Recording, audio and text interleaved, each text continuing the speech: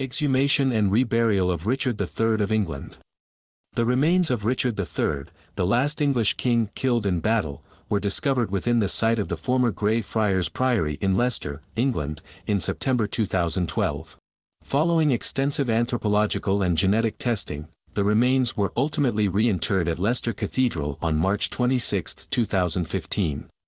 Richard III, the final ruler of the Plantagenet dynasty, was killed on August 22, 1485 in the Battle of Bosworth Field, the last significant battle of the Wars of the Roses.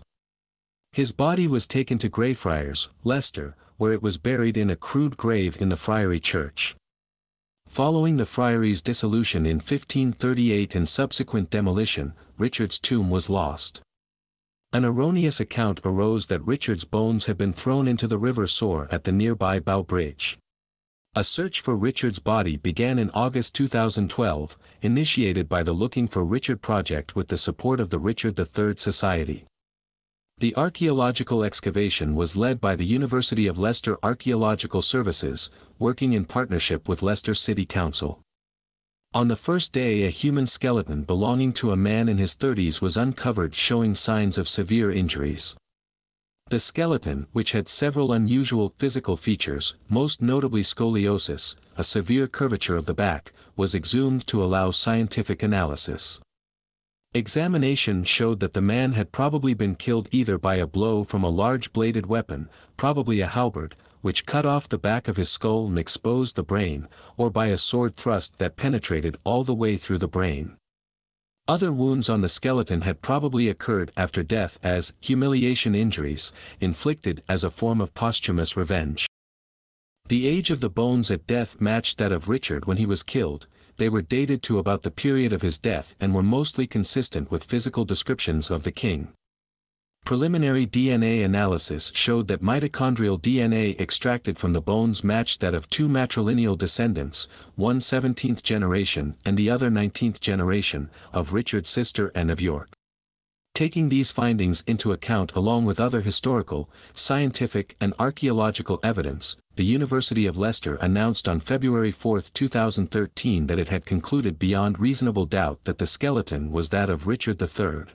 As a condition of being allowed to disinter the skeleton, the archaeologists agreed that, if Richard were found, his remains would be reburied in Leicester Cathedral.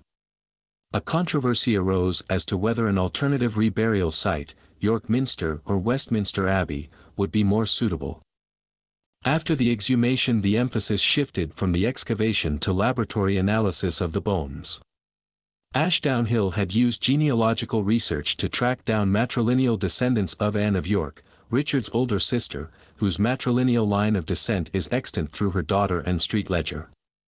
Academic Kevin Schürer subsequently traced a second individual in the same line, an osteological examination of the bones by Jo Appleby showed them to be in generally good condition and largely complete except for the missing feet, which may have been destroyed by Victorian building work. It was immediately apparent that the body had suffered major injuries, and further evidence of wounds was found as the skeleton was cleaned. On February 4, 2013, the University of Leicester confirmed that the skeleton was that of Richard III, the identification was based on mitochondrial DNA evidence, soil analysis, dental tests, and physical characteristics of the skeleton consistent with contemporary accounts of Richard's appearance.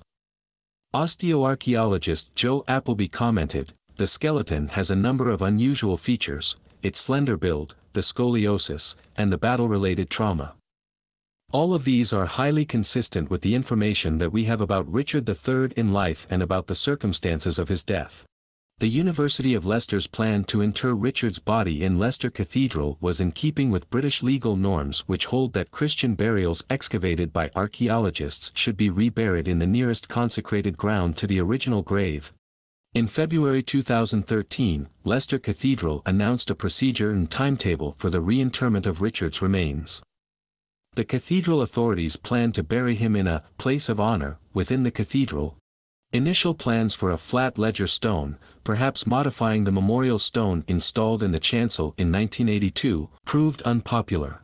A table tomb was the most popular option among members of the Richard III Society and in polls of Leicester people. In June 2014 the design was announced, in the form of a table tomb of Swaledale fossil stone on a Kilkenny marble plinth. That month, the statue of Richard III that had stood in Leicester's Castle Gardens was moved to the redesigned Cathedral Gardens, which were reopened on 5 July 2014. So that was all for today's video. Let us know what you think about it in the comments section and subscribe to our channel so you don't miss out on our latest uploads. With that said, we will see you next time. Until then, take care.